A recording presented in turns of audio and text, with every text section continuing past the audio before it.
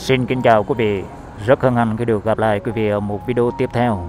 À, kính thưa quý vị, hiện tại là 7 giờ tối ngày 13 tháng à, 9 năm 2023. Mình đang có mặt tại à, con đường 3 tháng 2 quý vị ha. Đi theo hướng này là lên à, khu Hòa Bình quý vị. Ở bên phía tay phải của chúng ta có một cái tiệm bán hoa khô nhìn dễ thương quý vị.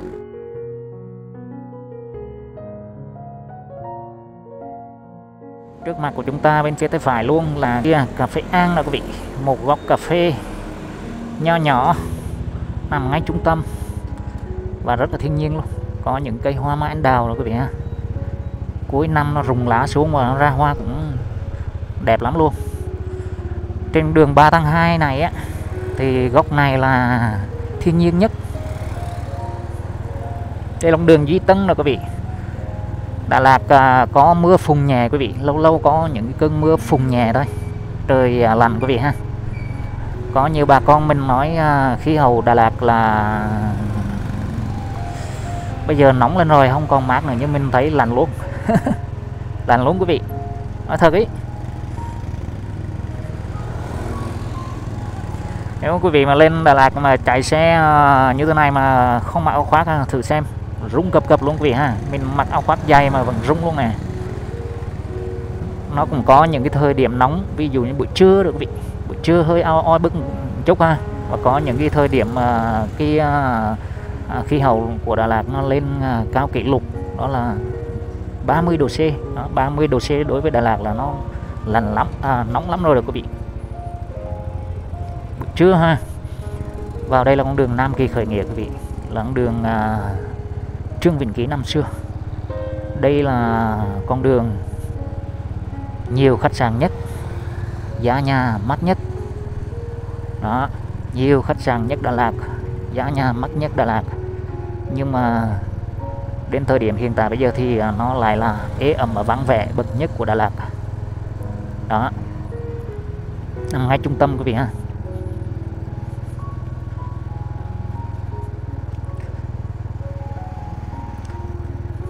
Lâu lâu dào vào đây. À, nói chung là trên những con đường như thế này thì đối với à, những cái à, khán thính giả mà hay xem kênh của mình thì nói thiệt với quý vị là không còn là làm gì nữa.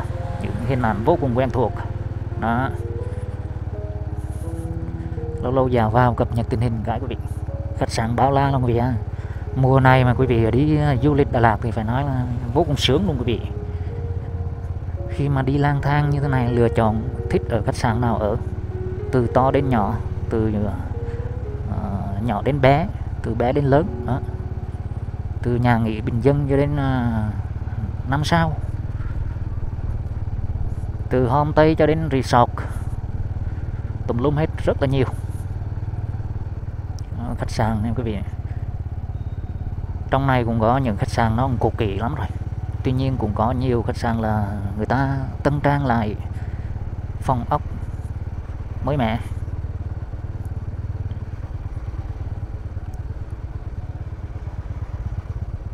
Đó. Năm xưa xe đoàn ấy là người ta lựa chọn ở trong này nhiều lắm quý vị.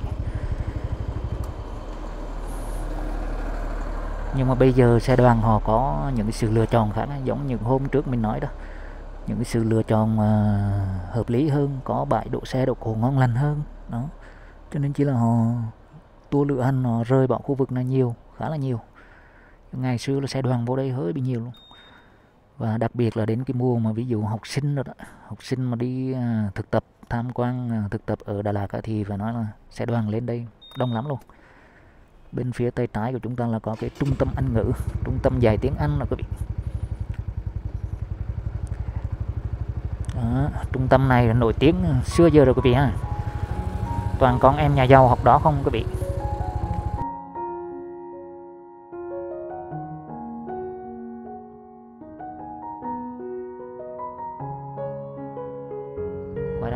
Bình dào dào dòng dòng. Hôm nay là là thứ tư, mới giữa tuần thôi quý vị. Cho nên cho nó vắng như thế này đây. Nó quý vị thấy không? Ở trung tâm mà vắng như thế này thì huống hồ như những cái khách sạn homestay nhà nghỉ à, ven ven nằm hẻm hóc nào đó mà bà con mình không tiếp cận được hoặc là không tìm được thì khó lòng mà có khách lắm quý vị. Chỉ có là à, những cái homestay mà có thương hiệu. Hoặc có mối. À, có khách quen. Hoặc là buộc phải chạy quảng cáo. Thì may ra mới tiếp cận được quý vị ha. Giá nhà giá đất bất động sản ở trên những con đường đắc địa như thế này phải nói cực kỳ mắc của quý vị.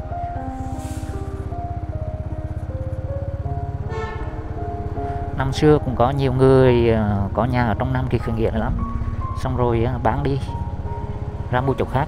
Và sau này giá nhà nhá giá đất đồ nó lên. Lên phải nói là chóng mặt, lên gấp mấy chục lần ấy.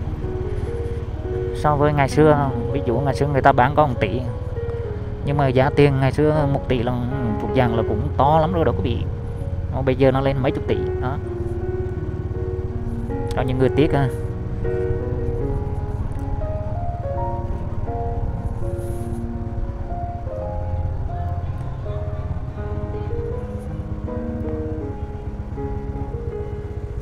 căn nhà này treo bảng bán nhà bữa giờ vẫn chưa có ai bán vẫn chưa có ai thuê được quý vị. Mình nói rồi bây giờ là những cái à, căn nhà mà ở trung tâm đắc địa như thế này mà việc bán nhà khó lắm vì nó mắc các quý vị ha. Ở bên này thì có một cái quán à, cơm tấm xa bị trưởng đó. Hồi trước mới mở ra là khách đứng xếp hàng đấy fan đấy tới đứng xếp hàng để mà ăn. Bây giờ là cũng thuộc dạng rơi vào tình trạng là ế ẩm luôn.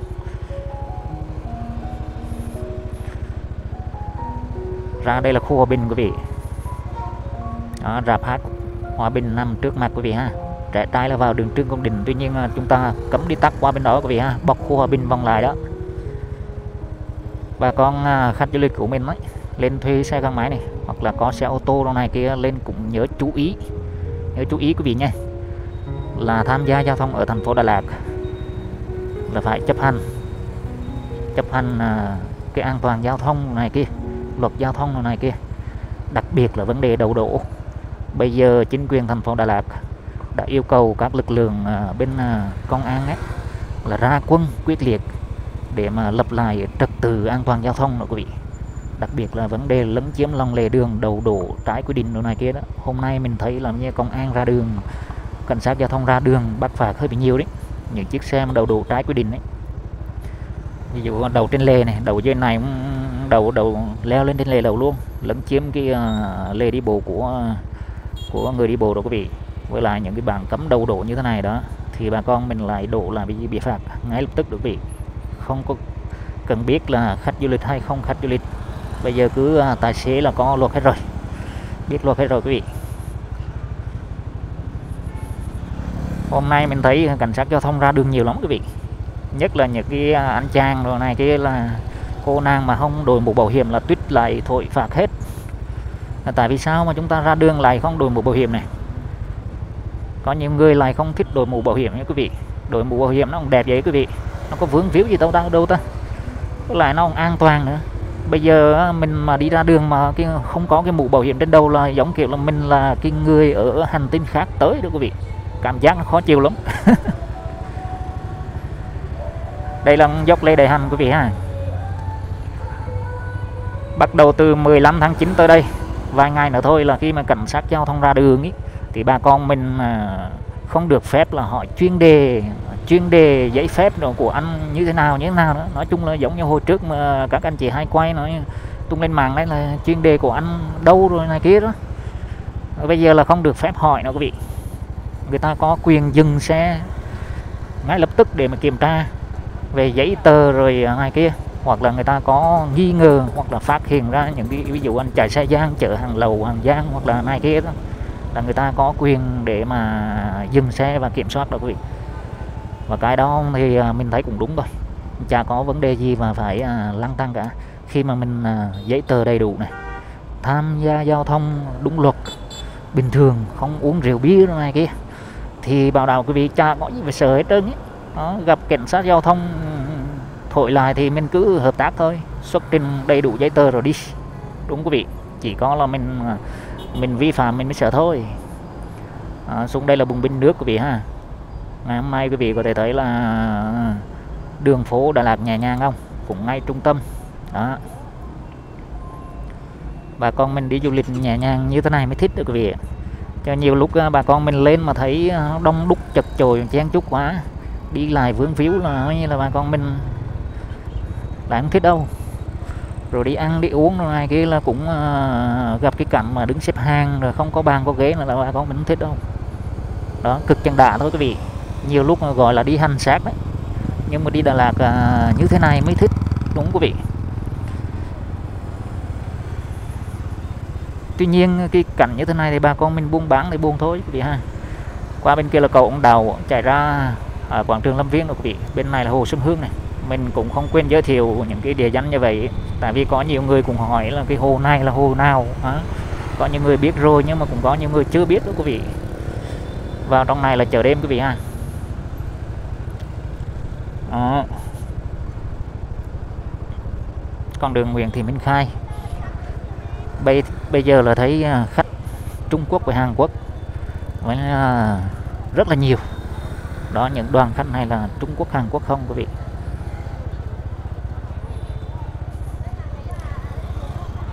Những năm năm xưa đó quý vị thì à, cái khách Nga khi mà chưa nổ ra cái cuộc xung đột Nga Ukraine thì khách Nga qua nhiều lắm luôn quý vị. Đặc biệt là khách Nga mà họ làm ở dưới uh, họ làm bên ngành dầu khí đó, chuyên gia này kia đó, đoàn công tác này kia đó. Ở dưới Nha Trang với lại lên Đà Lạt cũng hơi bị nhiều luôn.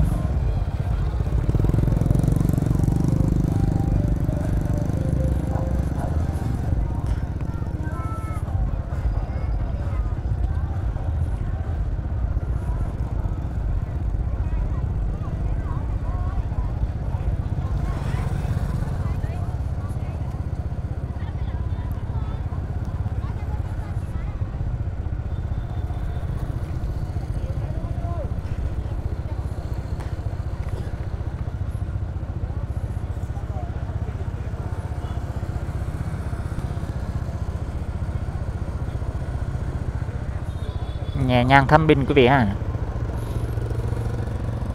Khách Hàn Quốc họ đi đông đông như thế này thôi chứ mà họ mua sắm thì khó lắm đó quý vị. Nếu khách Việt mình ờ, nhiều lúc đi lang thang họ còn mua quà mua lá mua ờ, cái này cái kia, vì những cái sản phẩm đối với người Việt mình thì nó cũng phù hợp ý. chứ còn đối với khách nước ngoài có nhiều sản phẩm không phù hợp là họ không mua đâu. Ít khi mà ờ, họ bỏ tiền ra họ mua lắm.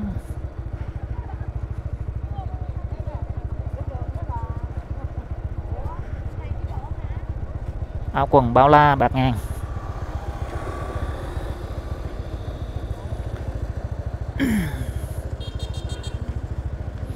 Bây giờ mặt không thiếu đó quý vị giống ờ, mình nói là bây giờ lo ăn thôi chứ còn mặt không thiếu đâu.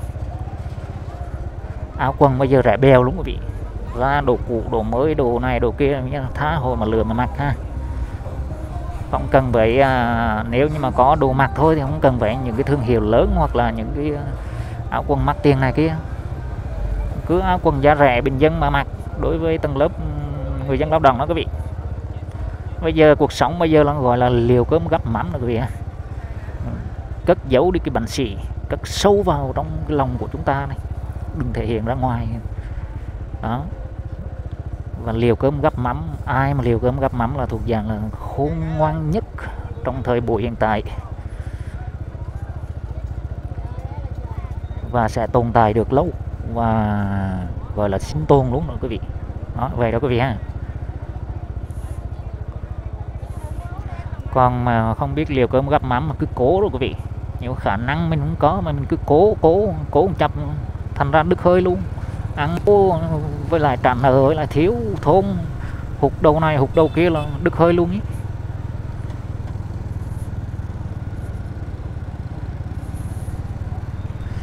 Qua bên này là cầu bóng đào quý vị ha. Mình vào ra quảng trường Lâm Viên cái.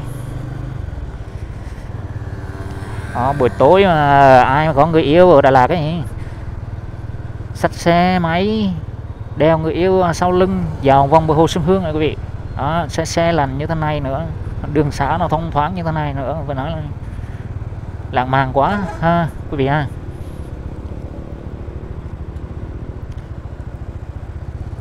Đây là cà phê Nhật Nguyên quý vị ha cà phê Nhật Nguyên khá là vắng luôn.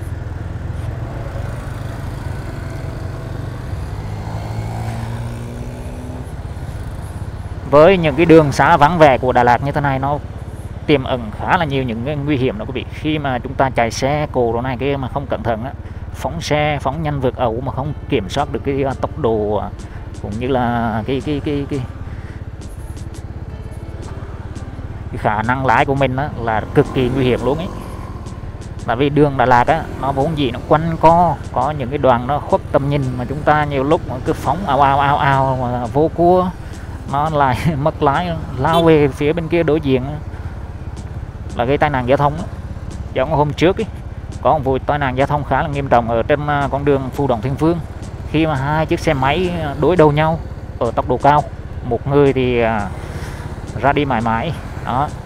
Và một người thì à, nguy kịch bị thương nặng và đưa lên bệnh viện đa khoa tỉnh Lâm Đồng để mà cấp cứu.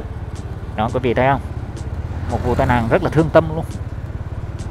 Chỉ chút bất đồng bất cần mà phóng nhắc là nguy hiểm lắm. Bà con mình đi du lịch vậy ha. Lên thuê xe máy mà là đường là cái chạy từ từ thôi. Đó đừng có thấy đường vắng như thế này mà chạy phóng ảo ảo nhiều lúc đường đông mà nó không có à, nguy hiểm bằng đường vắng đâu quý vị. Thường thường đường vắng là người ta chạy nhanh lắm. Còn đường đông mà lấy cái à, kẻ hở đâu mà chạy cho nhanh. Như lúc chen chúc, nhích từng tim một, lấy đâu ra mà chạy cho nhanh quý vị. Như vậy đó quý vị ha.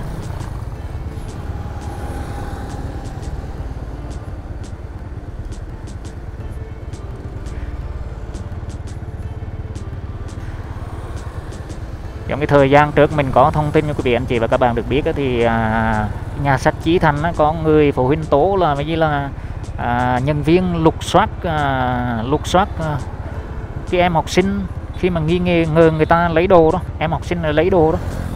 đó hôm trước mình có thông tin thì à, bữa nay là mấy chính quyền thành phố Đà Lạt đã ra quyết định xử phạt cái à, người nhân viên của nhà sách đó là 15 triệu đồng khi mà lục soát trái quy định đó đó là kết quả đó, đó quý vị ha. Quảng trường Lâm Viên hôm nay vắng quý vị. Những bãi đổ xe như thế này cũng lưa thưa vài vài xe đậu thôi. Và khách thì cũng lưa thưa vài người ở à, trên quảng trường đó quý vị. Ở trên này thì người dân địa phương cũng có mà người à, khách à, du lịch cũng có đó quý vị. Đó. Quảng trường Lâm Viên đây.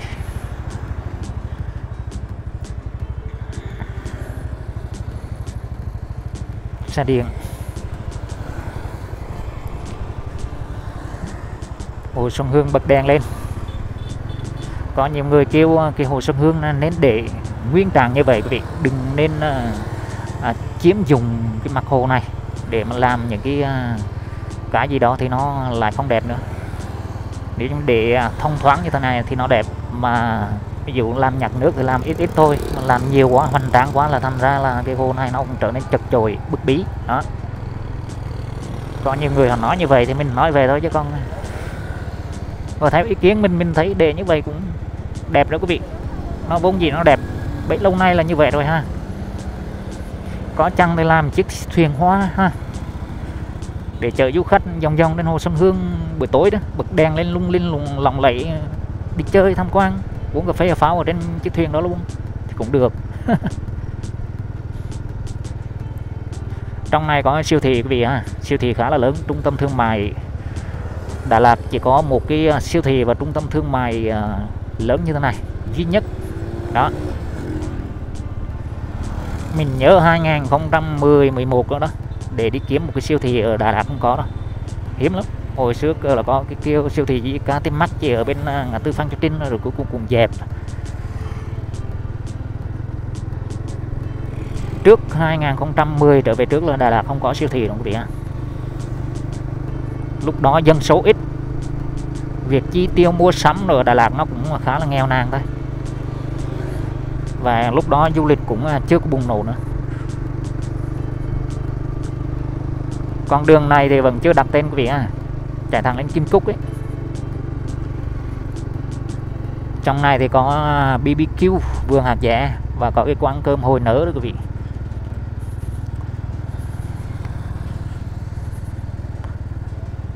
Đó từ trong trung tâm ra tới à, những cái con đường à, xa xa trung tâm, chút như thế này thì quý vị thấy đường xá ha. Rất là ít xe cộ.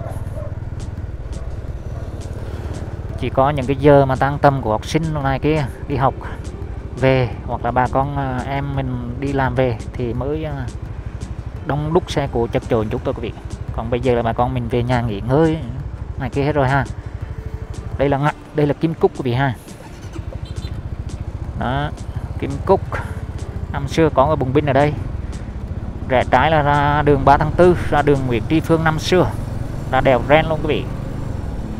Chạy thẳng như thế này là qua đường Trần Phú. Đó, về nhà thờ con gà quý vị ha.